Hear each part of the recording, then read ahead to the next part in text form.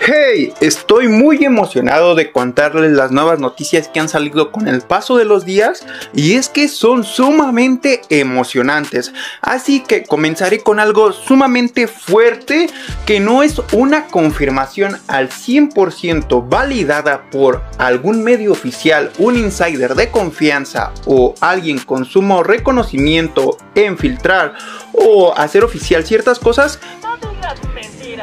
Pero es que las cosas están sobre la mesa. Desde muchos días atrás, en mis videos de noticias, les he dicho que cada vez se acrecenta más el porcentaje de tener un posible regreso de la serie de los 90 de Spider-Man. Sí, Spider-Man de Animated Series. Eh, como que todos ya tenemos o intuimos que a pesar de que no es oficial o no hay una fecha para iniciar la producción del revival de esta serie animada, como que ya nos dan ciertos indicios mentales de que puede que suceda todo esto. Y ahora les voy a compartir una idea personal que yo estoy seguro que muchos ya la han pensado en este planeta porque es una idea muy común o promedio que creo que muchos hemos tenido. No digas mamadas, Mary Jane. Pero como ustedes saben, en el capítulo final de X-Men 97, si es que no han visto esa serie, les voy a contar cómo está el pedo y por qué se me ocurrió todo esto.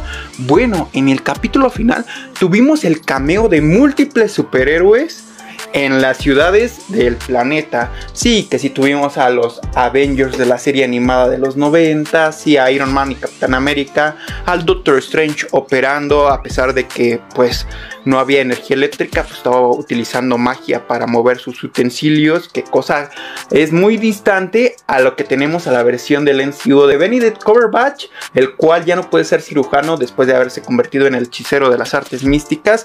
Tuvimos un pequeño cameo con Mort convirtiéndose en Mr. Fantastic, sí, el Reed Richards de los Cuatro Fantásticos de la serie de los 90 y más superhéroes por mencionar como Daredevil. Pero lo importante aquí viene porque tuvimos un cameo de Peter Parker. Peter Parker. Al lado de Mary Jane y Flash Thompson viendo unos televisores, las noticias de anime, de todos los destrozos que estaban sucediendo en el mundo. Pero lo importante aquí es una cosa, es una idea, la cual es que Mary Jane está al lado de Peter Parker.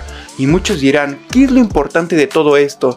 Bueno, no sé si ustedes están al tanto o eran sumamente fans o tienen muy sólido de qué trataba la serie animada de los noventas, pero recuerden que Mary Jane era un clon No digas eso, mi amor, por favor. No digas eso, mi amor. de agua o algo así. En la saga de Iron Man tuvimos la desaparición de la Mary Jane original y apareció esta que al parecer es un clon. Y justo al final de la serie, Madame Web le revela a nuestro querido Spider-Man de que Mary Jane sigue con vida y que pues esta es la oportunidad para iniciar su búsqueda y que al fin se reencuentre el Peter Parker de esta dimensión animada con su amada Mary Jane. Bueno, pues lo que nos revela este pequeño cameo de unos segundos es que nos confirma y nos da por hecho que el Peter Parker original se encontró con la Mary Jane original en ese universo animado, lo cual desde ya nos pone sobre la mesa el planteamiento de que todo esto puede ser revelado en un revival de Spider-Man. Ahí está ya puesto sobre la mesa. Este reencuentro dictaría para desarrollar toda una saga de capítulos en la cual veremos a Spider-Man adentrarse en la búsqueda de la Mary Jane original y pues esto nos spoilearía de que pues al fin la encontró y se unieron de nuevo. Tal vez posiblemente logró casarse con ella o sucedieron muchas cosas más. Y pues yo esto se los dejo sobre la mesa. Sé que estoy seguro que muchos ya lo pensaron. Es una idea para mí muy común que a muchos se nos vino a la mente. Pero cada vez se acrecenta más el regreso de Spider-Man 98, 99. Cual sea el título que le quieran poner Solo esperamos que le den luz verde y lo anuncien como oficial. Pasando a otra noticia importante que se las quería contar, verán, en internet andan rondando ciertas imágenes donde nos muestran ya merchandising oficial o productos oficial para hacer en específico unos llaveritos los cuales podrían revelar ciertas cosas o spoilers de Deadpool y Wolverine.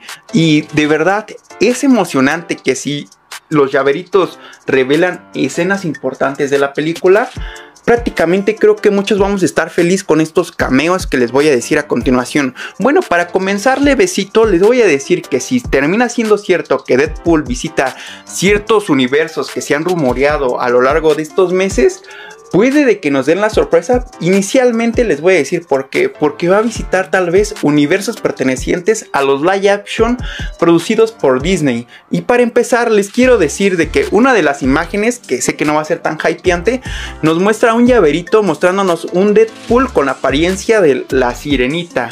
En otro, en otro llaverito podemos ver a Wolverine y Deadpool, a Wolverine colocándole una zapatilla de la Cenicienta a Deadpool y pues hasta ahí.